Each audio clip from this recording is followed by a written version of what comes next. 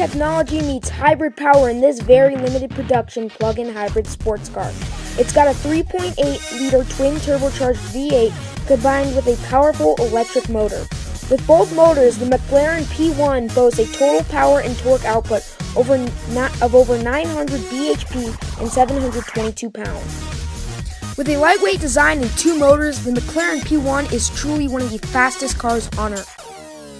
An adjustable wing on the back of the car allows for a faster and safer ride. We've studied the car, now let's see it in action.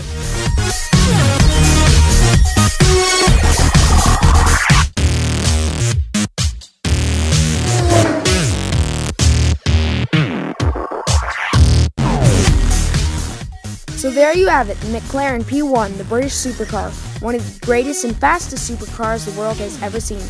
I'm Hot Wheels Tournaments, and this has been Diecast Supercars. Thanks for watching, and have a good time hunting.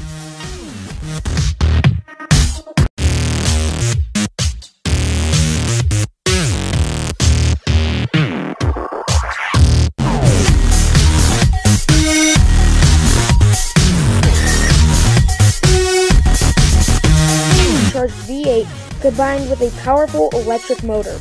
With both motors, the McLaren P1 boasts a total power and torque output over of over 900 bhp and 722 pounds. With a lightweight design and two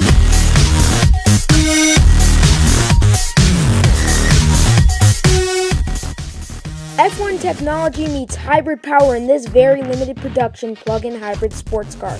It's got a 3.8 liter twin turbo motors. The McLaren P1 is truly one of the fastest cars on earth. An adjustable wing on the back of the car allows for a faster and safer ride.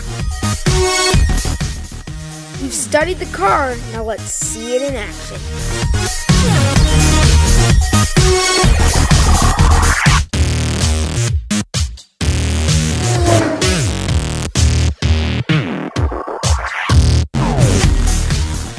So there you have it, the McLaren